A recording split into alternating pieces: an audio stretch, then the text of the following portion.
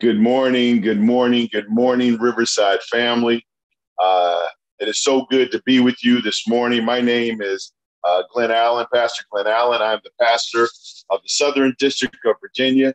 Uh, I have the pleasure, the pleasure of uh, pastoring a, a two church district along with a mission. Uh, the Three Angels Message Seventh day Adventist Church in Danville, Emmanuel Seventh day Adventist Church in South Boston, and Hope Mission in Clarksville, Virginia. Uh, but I am so excited about being with you this morning, and and this this is a, a very interesting uh, chapter in Second Chronicles 23. And and so before I get started, uh, just let's have a word of prayer. Uh, dear most kind and precious Father God, Lord, before we even look into uh, the scriptures, Father God, we should ask for the guidance of the Holy Spirit. And so, Lord God, I ask that you will be with uh, the Riverside family this morning, Father. I ask that you will just uh, touch them, bless them, and give them a special insight. In the mighty name of Jesus, I pray. Amen. Um, one of the things that you might, uh, again, I know you're accustomed to doing this, uh, so forgive me. It's been a while since I've done it. Is uh, you might want to get out your pen, your pencils, and your pad, and you want to jot down and you want to journal because basically, when we're done, uh, you may want to go back and uh, review. You may want to go back and relive a couple of moments. Uh, so journal these things down uh, so that you can continue uh, as you move forward uh, to put all the pieces of the puzzle together. so God bless. So we're going to get started. I'm reading in from the New King James Version, and I'm reading Second Chronicles chapter 23. Second Chronicles chapter 23. Second Chronicles chapter 23. And the word of God says, In the seventh year, Jehoiada strengthened himself and made a covenant with the captains of the hundreds. Azariah, the son of uh, the son of hold on, I lost my space because I got a text message. Uh, the son of uh, Joram, Joram, Ishmael, the son of uh, Jashiana, uh, forgive me for messing up these names, but uh, and Azariah, the son of Obadiah, uh, Masaniah, the son of uh, Adadai, and uh, uh, uh, Lord have mercy, Eliphat, Lord have mercy, the son of uh, Zachra. Okay, and they went throughout Ju- Judah and gathered the Levites from all the cities of Judah and the chief fathers of Israel, and they came to Jerusalem. Then all the then all uh, the simply made covenant with the king of the house of God. Have mercy. Keep that in mind. And he said to them, Behold, the king's son shall reign. Oh, okay. As the Lord has said of the sons of David. This is what you shall do. One third of you entering on the Sabbath of the priests and the Levites shall be keeping watch over the doors.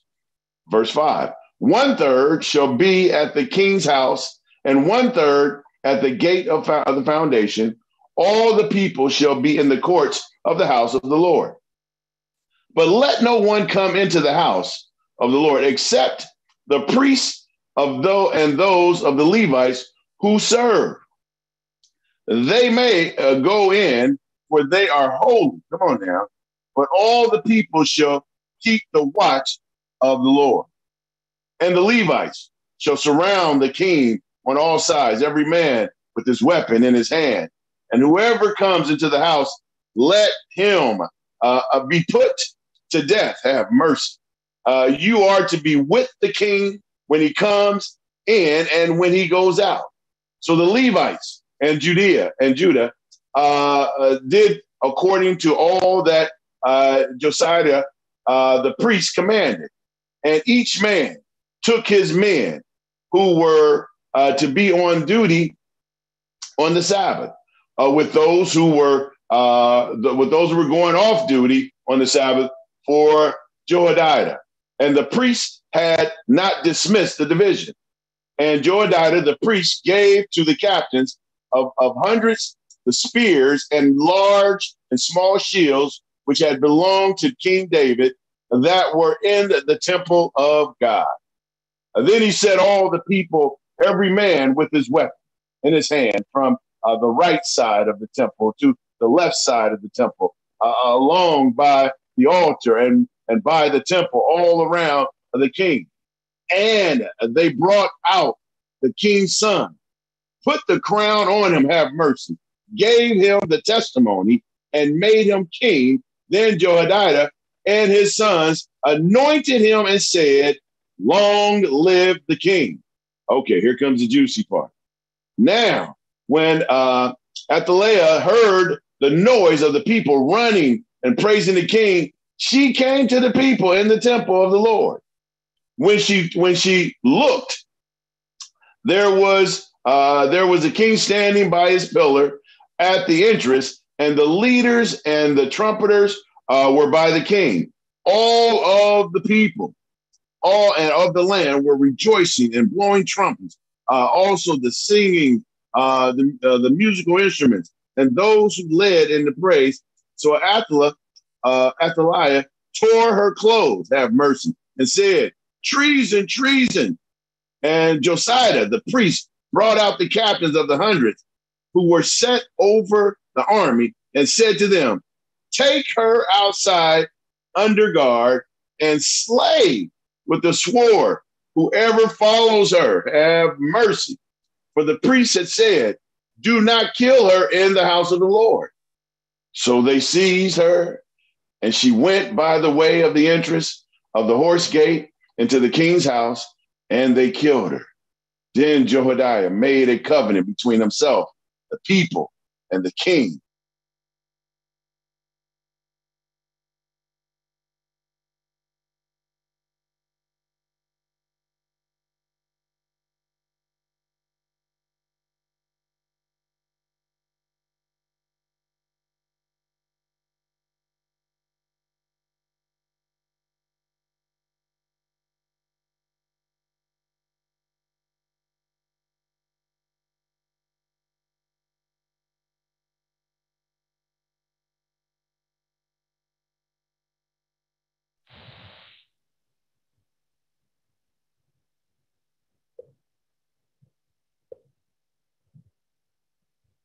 Pastor, Pastor, unmute your phone.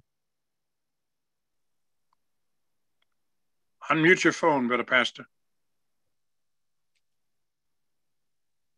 Unmute your phone, brother Pastor.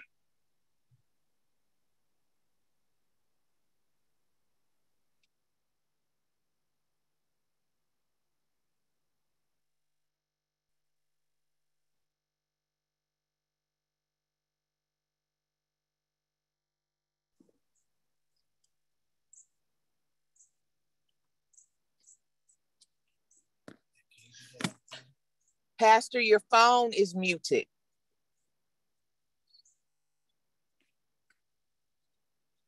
Pastor, you have muted your phone. Unmute your phone.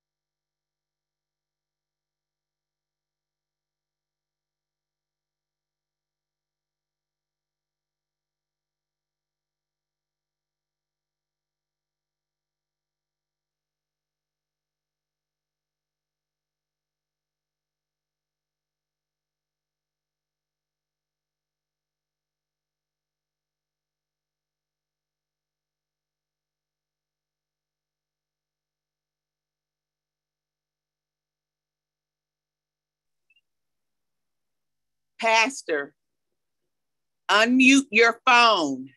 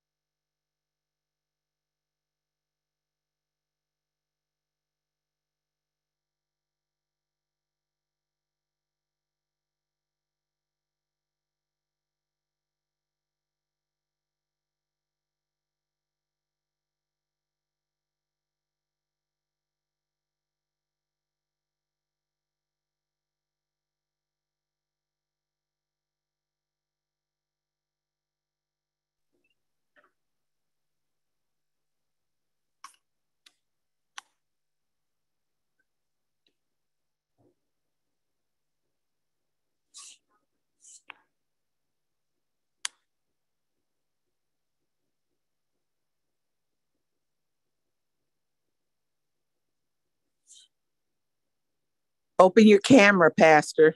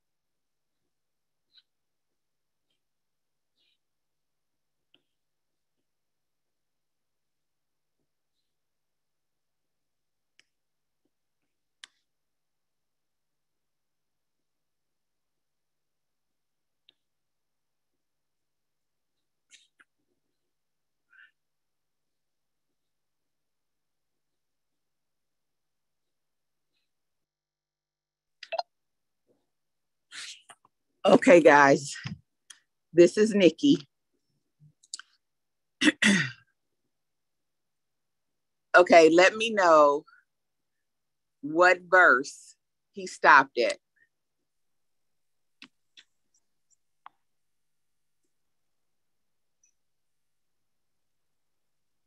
Can you all let me know that in the chat?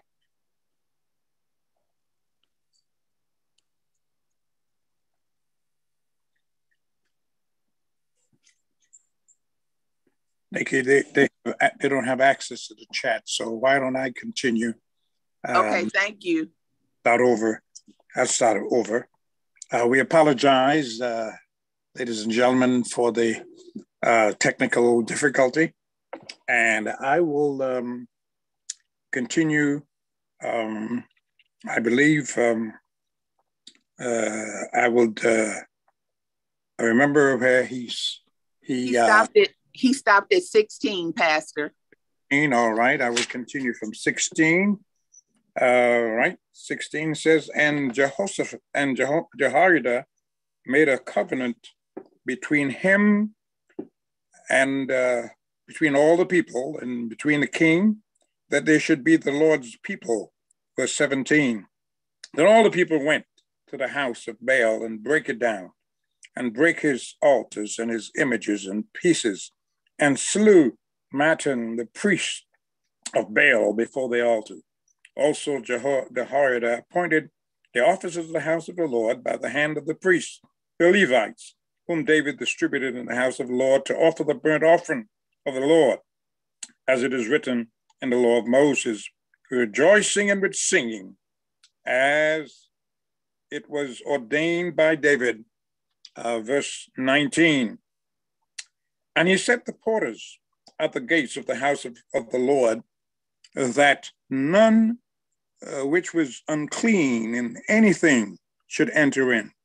And he took the captains of hundreds and the nobles and the governors of the people and all the people of the land and brought down the king from the house of the Lord. They came through the high gates into the house, in the king's house, and set the king upon the throne of the kingdom all the people of the land rejoiced, and the city was quiet after that they had slain Athaliah with the sword. That's the end of the reading of chapter 23 of Second Chronicles, uh, Second Chronicles chapter 23. I apologize again for the technical difficulty, and um, we uh, want to thank you for um, coming on this morning and for the blessings that God has given to us now we have many um, blessings, many uh, lessons that we can learn from uh, this chapter. chapter 23, um, where uh, the queen, the king's mother, had usurped uh, the throne and killed all the children, all of the, the heir to the throne, and ruled. But uh, when, as the Bible says, when the enemy comes in like a flood, the Spirit of the Lord lifts up a standard against him. So here it is the resurgence or the return of the king. Uh, God has a way of uh, overruling what the devil does. The devil is a liar and a loser. Even this morning, as he has tried to uh, upset uh, our regular um, getting radical with the word reading this morning, and our pastor uh, didn't recognize that he was muted. He's offline. God has a way of coming back and bringing things back to normal again. So, as the people of Israel made a covenant with the king and, and the reign of the new king, jo- Joash, the, the young king, uh, was crowned and became the king of Israel. So God has restored. He said, He'll give you back the years that the cankerworm destroyed and the caterpillar destroyed and the locust destroyed and the palmer worm destroyed. God, God is a comeback God. God has a way of restoring things. He's a God, He's a restorer of the good things. And so this morning, we thank Him for uh, enabling us to continue with this uh, presentation this morning. And we want to invite you to pray with me now as we conclude this, part, this portion of our, our presentation and we go into the announcements that would follow. Father, we thank you and we praise you in spite of the enemy's way of trying to interrupt what you have done, that you are able to overrule, and we thank you for your intervention and your overruling power in all things. So we place ourselves into your care today, and thank you for what we have heard today. Thank you for the message of the word, and we pray that you will enable us to have a wonderful day today in you and with your direction and protection and deliverance and overruling power. Thank you, Lord, for hearing and answering us in Jesus' name. Amen. And if you're willing to host one morning to do what the pastor started to do and do what I have done, uh, all you have to do is give me a call at 615 267 8690. That's Pastor Augustus Auguste at 615 267 8690. Or you may email me at faogiste at icloud.com. That's faauguste at icloud.com. Or you may text me at uh, my number 615-267-690. All right. Our host for Monday, as you know, we meet Monday through Friday, and we will not be meeting on uh, Sabbath or Sunday, but on Monday morning. Our host for Monday morning would be none other than George Starver, and he'll be reading Second Chronicles chapter 24. And if you want to study the traditional Bible, traditional Sabbath school at our church at 800 Youngs Lane, Please join us at 10 o'clock in person in a multipurpose room and stay with us for the divine service. We are concluding our evangelistic meeting, a revival on this Sabbath. We're going to have a wonderful day. They're going to be saints. Uh, many are already uh, scheduled to be baptized this Sabbath, going down to the water grave with Christ and rising up in the newness of life. If you want to join us uh, personally, in person, do so. But if not, you see in the chat our YouTube channel just join us there and be blessed. All right, our evangelistic meeting concludes. The, the final night is tonight. This is Friday night, the final message of the evening. Pastor Jones, Dr. Jones, uh, beloved pastor, he'll be leading out and preaching a powerful message he has preached all for these past two weeks. Concluding the nightly meeting tonight at six o'clock, be serving a meal for those who coming straight from work, come to the fellowship hall and uh, grab something to eat, and then join the pastor at seven o'clock for our meeting this evening. That ends our announcement for the day, and we'll see you on Monday morning, God's willing, bright and early. Join us for another edition of Radical with the Word, with uh, Brother George Starver being our host. Thank you so much for joining us today. May God bless you and have a fantastic, fabulous Friday in Jesus' name.